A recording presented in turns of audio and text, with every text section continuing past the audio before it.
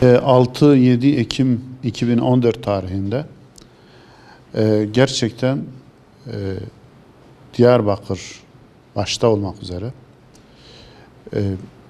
bizim bütün çevre illerde aslında bir, bir kalkışma oldu. Yani devlete karşı bir kalkışmaydı. Bu kalkışmayı öyle ve, böyle örtbas ettiler. E, olayın vehametini e, daha bir e, az göstermeye çalıştılar.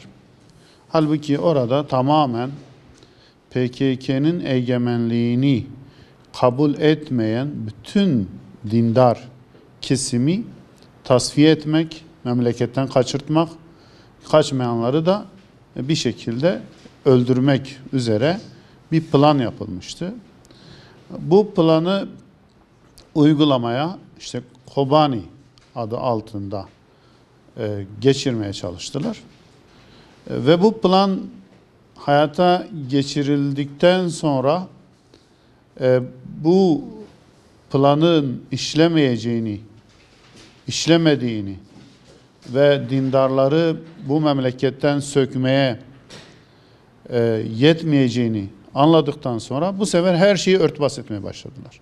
Polis gerçekten bu olayın vehametini hükümetin gözünde küçültmeye, basit iki grup kavgasıymış gibi göstermeye çalıştı ve hükümet de bunu yuttu. Bizzat Mehdi Eker'in kendisi Diyarbakır'a gelip açıklama yaptı. İşte olay iki grup arasındaki e, birbiriyle yapı, meydana gelen bir çekişme kavgaymış gibi dile getirdi. Daha get- olayın sıcaklığıyla e, hükümetin adamı bizzat o kandırılmış bir haliyle geldi, açıklama yaptı. Olayın vehametini örtbas etmekte o da kullanılmış oldu. Hatta ve hatta yani biz dosyayla ilgili gidip savcılıktan bilgi istediğimizde işte gizli kararı alınmış. Yoksa işte bu sefer kendilerince yani bizi kandırmaya çalışıyorlardı.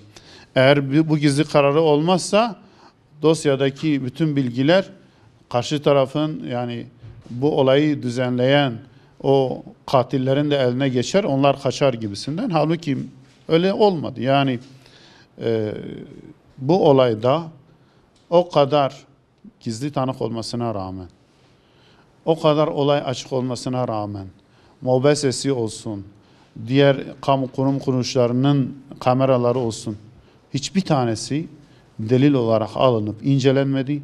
Polis hiçbir şey yapmadı. Yani mesela bir sene sonra daha yeni davası açıldı olaydan sonra. O davası açıldığında baktık dosya bomboş. Yani vicdan azabıyla gidip polise ben olayı gördüm, olayda şu şu kişiler vardı. Aynen bizzat o bölgede yani Yasin olayında o binanın çevresinde ikamet eden insanlar bizzat vicdan azabı çekerek gittiler, konuştular. Bu insanlar ne o konuşanları korumaya aldılar, tanık koruma sistemine aldılar. Ne bu o anlatılanları daha derin inceleme yapmak, bu anlatılanlardan yola çıkarak başka sanıkları, olayların aydınlatılmasını sağlayacak hiçbir şey yapmadılar. Olayı örtbas ettiler.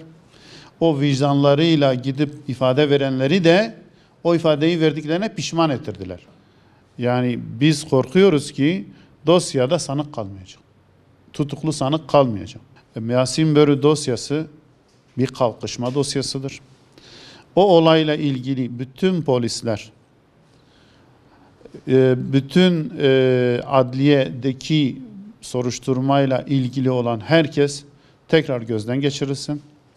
Bu olay basit bir olay değildi. PKK'liler gibi düşünmeyen insanların bu memleketten ölü veya diri atılması meselesiydi. Bunun bu şekilde bilinmesi gerekir. Bu kadar büyük bir olay basitleştirildi. Şu an Ankara'da gidip geliyoruz. Peyderpey tahliyeler verildi.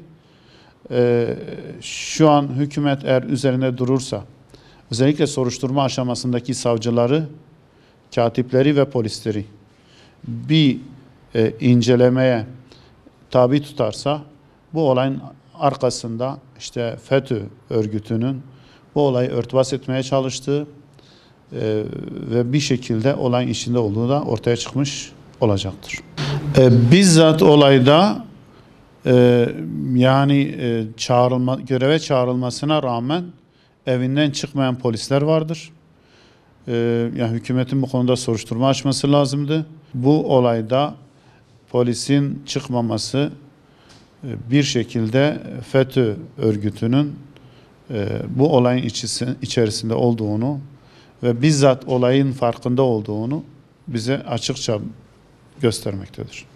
6-8 Ekim olaylarında e, polisin çıkmaması, e, polisin görüntüleri vermemesi, mobeseler arızalıdır demesi bunlar e, işbirliği açısından delil olarak gözüküyor.